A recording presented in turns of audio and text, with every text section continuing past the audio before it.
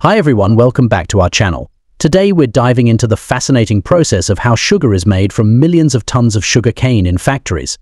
Have you ever wondered how the sweetener in your coffee, or the sugar in your coffee, in your favorite dessert, makes it from the field to your table? Well, buckle up because we're about to take you on a comprehensive journey through each step of this sweet transformation. Sugarcane, also known as Saccharum officinarum, is a tall perennial grass that grows in tropical and subtropical regions. It is the main source of sugar production, accounting for about 80% of the world's sugar supply. Supply. Each stalk of sugar cane is filled with sucrose-rich juice, which makes it a highly sought-after crop. It takes an average of 18 months for sugar cane to mature and be ready for harvesting. Once the cane is fully grown, it is cut down and transported to the factory. The journey of sugar begins in the vast fields of sugar cane. Sugar cane is a tall, fibrous grass that succeeds in tropical and subtropical climates. To harvest this green gold, workers or machines cut the stalks at the base. Traditional methods involve manual cutting with knives, whereas modern technology sees the use of specialized harvesters that can cut, strip and transport the cane in one sweep. Once harvested, the sugar cane must reach the mill as quickly as possible, ideally within 24 to 48 hours, to ensure the highest yield of sucrose. Transporting millions of tons of sugarcane from the fields to the factories is no small feat. Trucks, tractors, and trains, specially designed for bulk cargo, efficiently move the cane. Timing is crucial during this phase. Any delays can cause the sugarcane to start fermenting and lose its sucrose content. Upon reaching the factory, the cane is weighed and inspected before being sent to the next step in the production process. Some sugar mills are strategically located near fields to minimize transportation time and costs. Upon arrival at the factory, the sugar cane undergoes an extensive preparation process to extract its sugary juice. Initially, it is weighed and tested for sucrose content. The cane is then thoroughly washed to remove any soil and impurities. After cleaning, the cane is chopped into small pieces, typically using rotating knives or shredders. This increases the surface area, making it easier to extract the juice, the heart of the sugar-making pro. Next up is the extraction where the prepared cane is crushed to extract the juice. The juicy cane pieces pass through a series of mills consisting of large, heavy rollers. These rollers crush and squeeze out the juice, which is then collected and sent for further processing. The leftover fibrous material called bagasse is often burnt to generate steam and electricity, embodying sustainable practices in many modern mills. The extracted juice is a muddy, dark liquid containing not just sucrose but also impurities like soil, plant fibers, and other organic materials. S. Lime is added to the cane juice to raise its pH level, which helps coagulate the impurities. The mixture is then heated and treated with chemicals to remove any remaining solids to purify this juice. It's directed into large clarification tanks. Here, lime or other clarifying agents are added to neutralize the acidity and precipitate the impurities.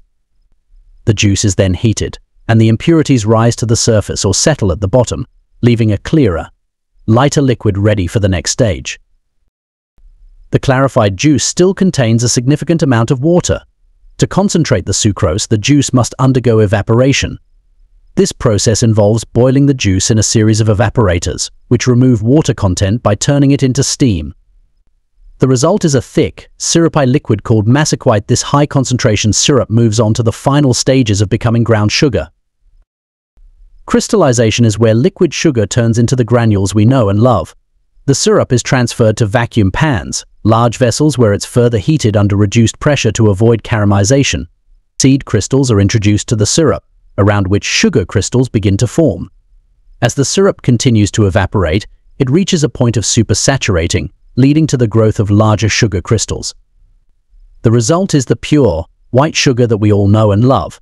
It's then ready to be shipped off to stores and used in various food and beverage products. Once the crystals have formed, the mixture of sugar crystals and molasses known as mother liquor is spun in a centrifuge. This mechanism functions much like a household washing machine spin cycle. The spinning action separates the molasses from the crystals. The result is raw sugar, which has a light brown color due to residual molasses sticking to the crystals. The raw sugar crystals are still slightly damp when they exit the separator. Therefore, they are conveyed to dryers, typically large rotating drums, where hot air evaporates the remaining moisture. After drying, the sugar is cooled using cool, ambient air to prevent the crystals from clumping together. By the end of this stage, we have dry, raw sugar crystals ready for further refinement if desired. For those who prefer white, refined sugar, the raw sugar undergoes further processing. The raw sugar is melted back into syrup, reclarified to remove any remaining impurities, and then recrystallized. This extra processing step removes all remaining molasses, resulting in the pure white sugar commonly used in baking, cooking, and as a sweetener in beverages. With the sugar now in its final form, it's ready for packaging. Factories often employ automated systems that measure and pack the sugar into various sizes, from small packets for everyday use to large bags for industrial purposes. Once packaged, the sugar is dispatched to warehouses or directly shipped to retailers, supermarkets and manufacturers, ensuring it reaches consumers worldwide. And there you have it. From field to factory to your kitchen, that's how millions of tons of sugarcane are transformed into the sweetener we all use every day. From the fields to our tables, sugar passes through various stages and processes before reaching its final form. The journey is a testament to the hard work and dedication of farmers, workers and modern technology that make this sweetener available to US. Next time you enjoy a spoonful of sugar in your tea or use it in baking, remember the long journey it took from the sugar cane fields to your kitchen. Whether it's granulated, brown or powdered sugar, every form has a unique story and process behind it. And that's what makes this sweetener of life truly special. And there you have it, the incredible journey of how millions of tons of sugarcane are transformed into the sugar we consume daily.